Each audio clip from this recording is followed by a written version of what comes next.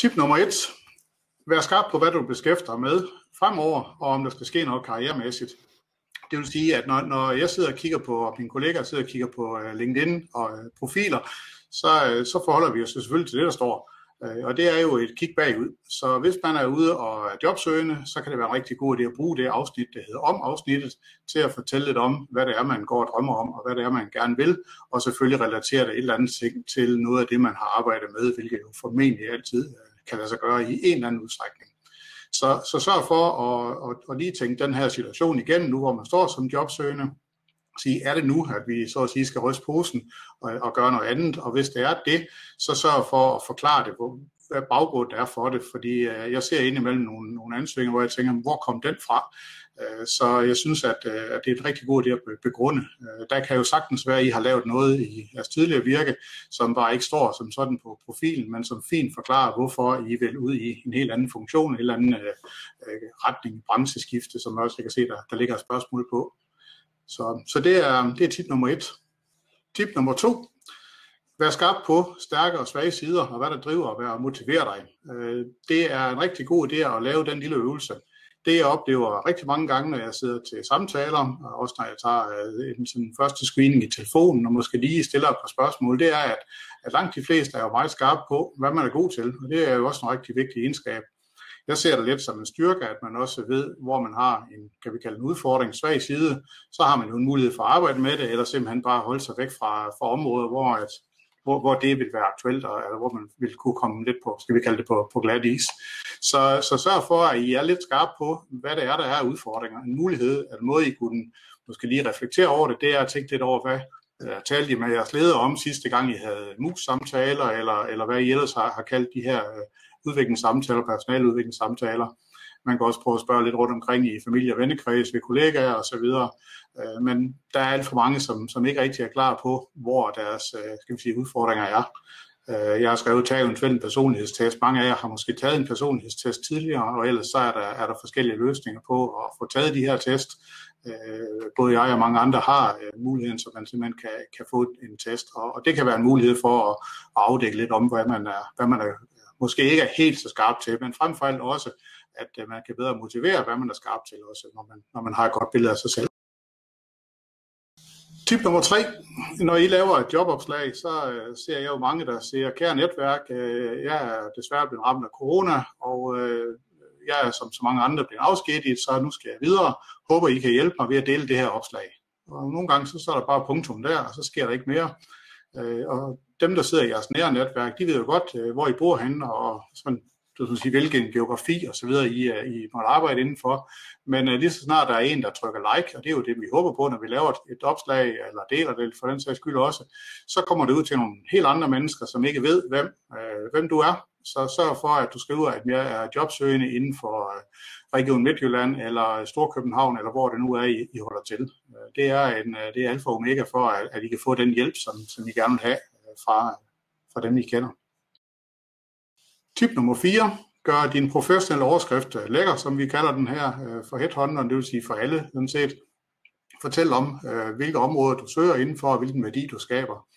Og I har jo øh, flere hundrede karakterer at gøre godt med i den overskrift, og, øh, og der ligger der jo nogle rigtig fine guides, guides på Social Selling Companies hjemmeside, så I kan se lidt om, hvordan man udfylder den her, øh, den her headline. Så sørg for, at I fortæller der, hvad det er, I arbejder med. Øh, og øh, det, det, er, det, vil være, det vil gøre det meget tydeligere, fordi vi har jo lidt, øh, eller det vi, vi ved fra fotos og så videre, jamen altså, så ved vi, at vi har jo ganske få sekunder til at, at, at spotte en person. Så, så det er vigtigt, at, at I er skarpe på, øh, hvad det er, øh, I, I arbejder med.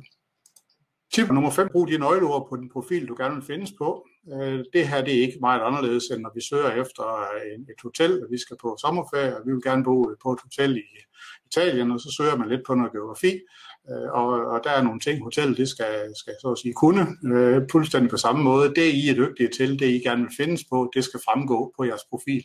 Så øh, LinkedIn er jo også en søgemaskine, øh, og så derfor sørg for, at, I, at det I er gode til, det findes derinde.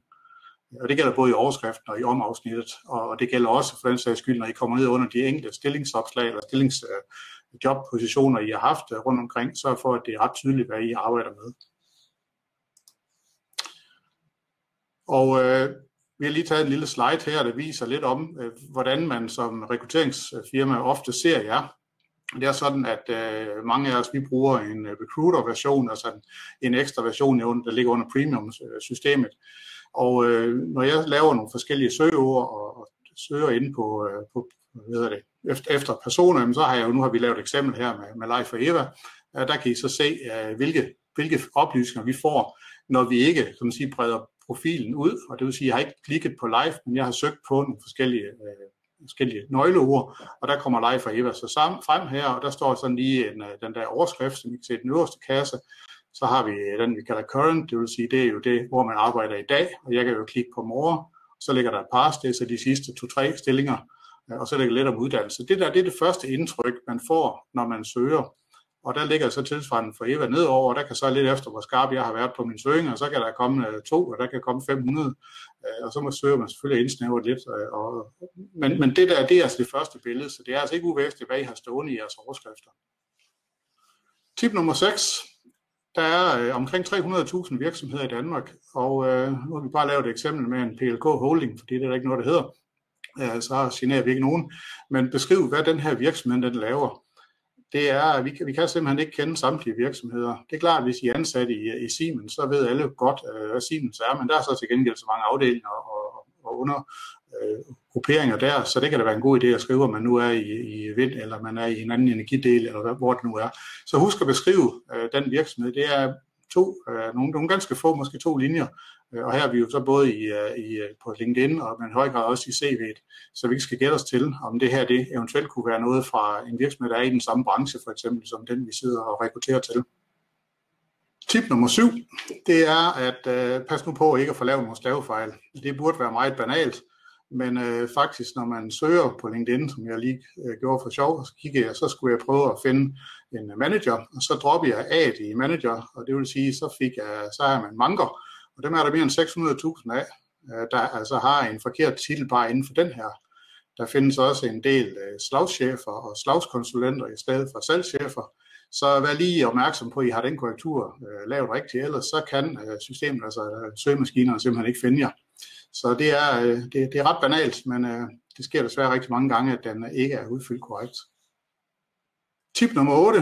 Vi, øh, når vi har øh, recruiter-systemet, og så bruger vi ofte det, der hedder indmails. Den skal I sørge for, at den notifikation er slået til. For er den ikke slået til, jamen så ser I jo ikke beskeden, jeg ser, jeg, når jeg ikke kan få fat i folk på telefonen, så skriver jeg til dem. Og når der så går måske 14 dage, 3 uger, og man ikke har hørt nogen ting, så er vi altså rigtig langt i jobprocessen, og så er det måske allerede for sent. Så sørg for, at I har notifikationen slået til, så der ikke er øh, noget, noget øh, forsinkelse i det. Øh, det er jo ikke anderledes, end hvis I får, hvis I er på Messenger for eksempel. Altså mange har jo sat notifikationerne til. Det kan I også gøre på, øh, på LinkedIn, og igen, så ligger der nogle gode guides til, hvordan man gør sådan noget på Social Selling Companies øh, side. I øh, LinkedIn og i øh, jeres CV'er, der er det vigtigt, at I har styr på kronologien. Så det er tip nummer 9. Sørg for, at det ligger kronologisk, øh, og det nyeste forrest. Øh, pas nu på ikke at begynde at, at, øh, at forsøge at gemme et eller andet, for på et eller andet tidspunkt, når I kommer til en samtale, så spørger vi alligevel, øh, hvornår startede du, hvornår stoppede du i den her?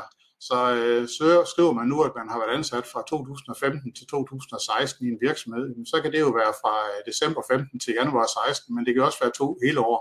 Så I kan lige så godt være, være specifikke på det. Øh, det bliver spurgt om det på, alligevel på et tidspunkt. Øh, lad være med at forsøge at gemme det, fordi det kommer frem på et eller andet tidspunkt, og, og får man indtryk af, at man har forsøgt at, at skjule et eller andet, jamen så kan man måske sidde med en eller anden tanke om, at det vide, hvad der ellers er skjult. Og tip nummer 10. Møde velforberedt op, når du bliver inviteret til en jobsamtale. Det burde være en selvfølge, men, men øh, jeg ser rigtig mange, der kommer uden øh, uden notater, uden øh, spørgsmål. Det kan godt være, at spørgsmålet er oppe i hovedet, men øh, det svar, de så får på spørgsmålene, jamen det er der så ikke noget blok til at notere ned på. Det kan være en blok, det kan være en iPad, en computer.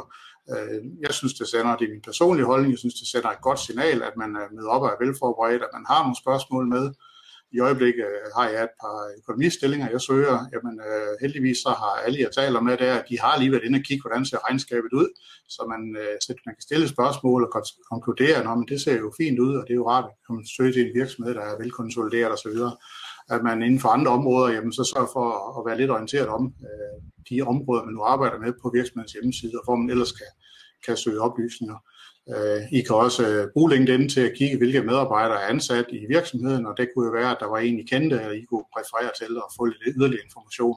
Så sørg for at være velforberedt, når man møder op til, til samtalen.